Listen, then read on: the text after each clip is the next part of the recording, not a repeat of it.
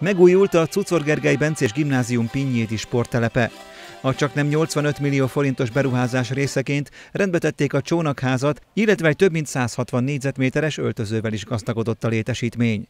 A mostani funkciója, mint csónakháznak, hát igazából a mindennapos testnevelésbe próbáljuk bevonni ezt, hiszen most már a töltésen, a Dunatöltésen nagyon könnyen elérhető a belvárosból, a biciklivel néhány perc alatt ide lehet érni, és ezért is volt szükség erre az öltözőre, hogy kulturált körülmények között tudják eltölteni azt a néhány órát, vagy esetleg csak másfél órát, ami a tan az órarendjükben szerepel.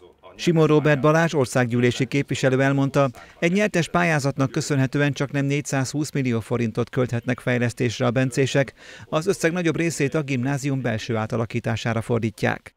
Én azt gondolom, hogy a bencések megítélése akár helyi, akár országos, akár világviszonylatban abszolút pozitív, hiszen ők a tudományos életet, a tanítást és a lelkipásztori tevékenységet végzik, és ehhez azért hozzátartozik egyfajta feltöltődés, pihenés is, és itt ezen a felújított helyszínen, itt Pinyéden, ebbe a gyönyörű környezetbe ez lebonyolítható.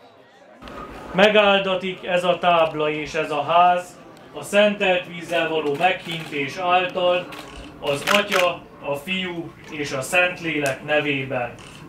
Amen. A rendezvény végén felavatták, illetve megáldották Horváth Dori Tamás, a Panonhalmi és a Győri Bencés Gimnázium korábbi igazgatójának emléktábláját is, aki a sporttelep fenntartója volt éveken keresztül.